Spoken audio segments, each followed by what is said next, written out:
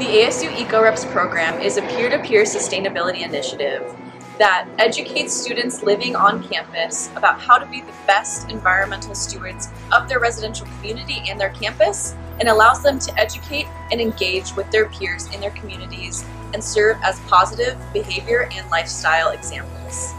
Hi, my name is Soren. I'm an eco rep here at ASU. Sustainability is important to me because the world is facing a lot of uh, environmental issues and sustainability issues, and I think it's really prudent that we like work to try to find solutions to these complex problems that we're facing, and we can all like build a better world to live in.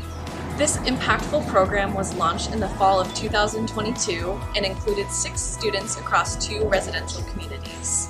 It was initially funded by Coca-Cola, and we have grown to be funded by not only Coca-Cola but also the ASU Foundation. Since then, we have now served 35 students across seven different residential communities on the Tempe campus. Hi, my name is Katie and I'm an eco rep.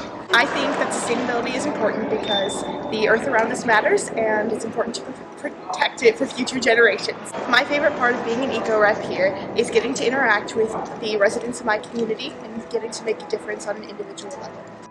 As of fall 2023, the EcoReps have engaged with more than 3,000 ASU students on a variety of sustainability topics, from tabling to blue bag waste sorting, bin guarding, and organizing community thrift exchanges. The EcoReps have explored a variety of complex social issues and are effectively tackling them through hands on experiential learning and peer to peer education. I want to make sure that the environment that I'm surrounded by is taken care of well. And I think that other students should also care about this because we're the younger generation that I think can make some of the biggest impact on sustainability. And some of my favorite parts of being an eco-rep is just getting to have those important conversations with other students and see how much I'm teaching them and how much they're learning and we're connecting through the world and topic of sustainability.